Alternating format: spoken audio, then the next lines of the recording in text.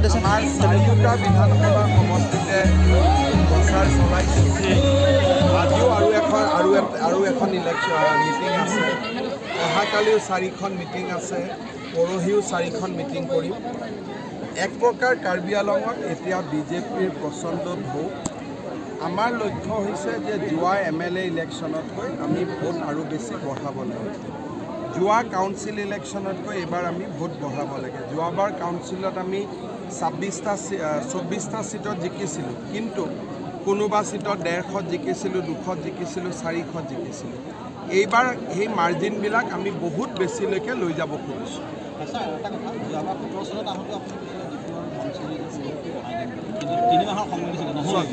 ডিফু আৰু ধনচিৰিৰ ৰোগটোত কিছু সমস্যা আছিলে। এতিয়া ফৰেষ্টৰ ক্লিয়াৰেঞ্চ পোৱাৰ কাৰণে বহুতখিনি সমস্যা আছিল। এতিয়া ফৰেষ্টে ক্লিয়াৰেঞ্চ দিলে গতিকে এতিয়া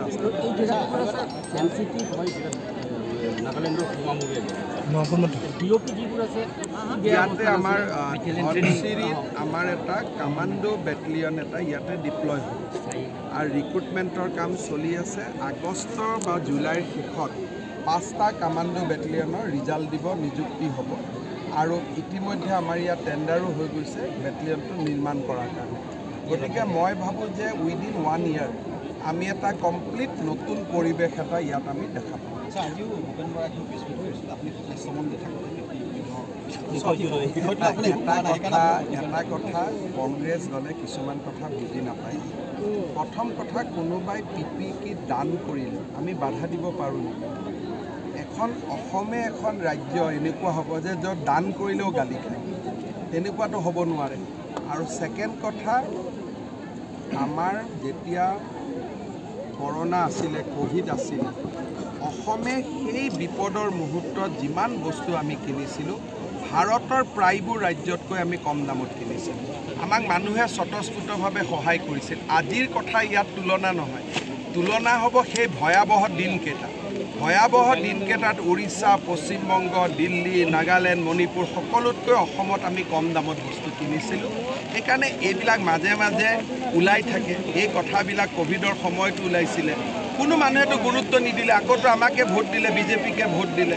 কিয়? মানুহে নিজে দেখিছিলে যে আমি কিমান নিষ্ঠা আৰু সততাৰে সৈতে কাম কৰিছিলোঁ। এইবিলাক কিছুমান মানুহ থাকে প্ৰত্যেকটো ইলেকশ্যনৰ আগতে কিছুমান ইছ্যু লৈ আহে। ইলেকশ্যনৰ ৰিজাল্ট ওলাব চববিলাক আকৌ গাঁতত সোমাব। পাহাৰৰ পাহাৰৰ ছাৰ একটা কথা এইপিনি তিলা বস্তি এইপিনি মানুহকেইটা ডিমাণ্ড কৰিছে মানে বৰ্ডাৰটো পূৰা একজেক্টলি আইডেণ্টিফাইড কৰিব লাগে। কেতিয়া নাগালেণ্ড কেতিয়া কেতিয়াবা কয় ইপিনি প্ৰথম কথা হ'ল অসম আৰু নাগালেণ্ডৰ মাজত।